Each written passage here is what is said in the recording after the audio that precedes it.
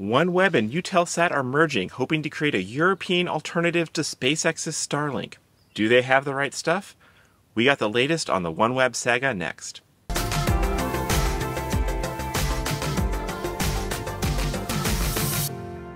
Hi, I'm Chris with the Mobile Internet Resource Center here to give you a space satellite internet update on one-time Starlink competitor OneWeb.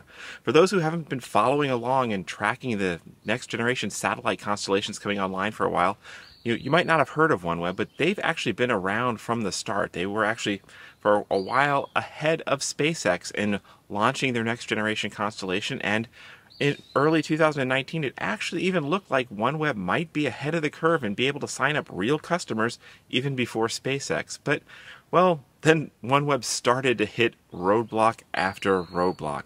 First off, the pandemic just basically slammed on the brakes for their business, forcing them into bankruptcy. They were about to be liquidated for parts before the UK government and Her Majesty the Queen stepped in to relaunch and fund the company, saying, hey, we need a non uh, European Union alternative to GPS, we'll fund OneWeb if we can put our GPS payloads on the top of that. Got them back on track until, well, they were using Russia to launch all their satellites. They had contracted with and prepaid for Russia to launch all the OneWeb satellites, and they were just a few launches away from having enough satellites in orbit to offer commercial service and to go global when, well, Russia invaded the Ukraine ending any hope of partnership between a UK company and Russian launch services. And well, OneWeb was literally launched with stuck with satellites stranded on the launch pad, again completely derailing them in early 2022. Well, the saga of OneWeb has continued. They've been completely stalled. They're kind of need some hope going forward.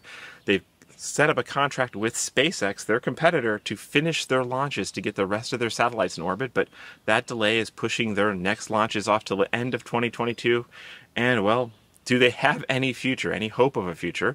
And well, maybe they now do. So stepping into the mix is a European satellite company called Eutelsat, which operates a fleet of 36 geostationary satellites and has been very successful in kind of the big enterprise business and in the European market, providing satellites for internet and for TV and for enterprise customers.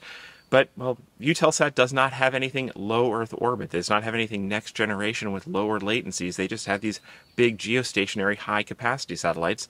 So, well, OneWeb and Eutelsat last week announced they're going to combine forces, merge, and design a new network that actually combines low Earth orbit with high altitude geostationary satellites to give the best of both. You get the high capacity, the extra, you know, large capacity of the geostationary satellites, but high latency, combined with the low Earth orbit, low latency, um, ubiquitous global coverage. So, seems like it could be you know, there are some actual genuine technical merits to a hybrid architecture like this, but it is complicated. You have to design the ground receivers to be able to talk to both kinds of satellites at the same time. This is going to be tricky and is going to add even more delay to OneWeb getting their service deployed and out, and we'll see what they can actually manage.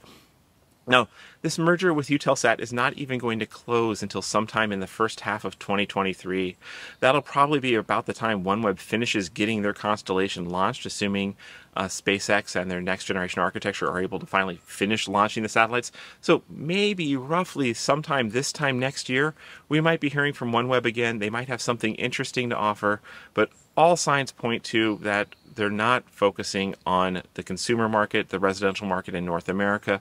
We'll probably see very little from them targeting any of our typical audience of North American RVers, but we might see some focus on the global marine and leisure yachting industry. That seems to be an area OneWeb still wants to focus on and where their hybrid architecture makes sense. So, again, was a once promising company, seems to have been steamrollered by SpaceX and Starlink, but they're not dead yet. We'll check in on them again in a year and see how this merger goes.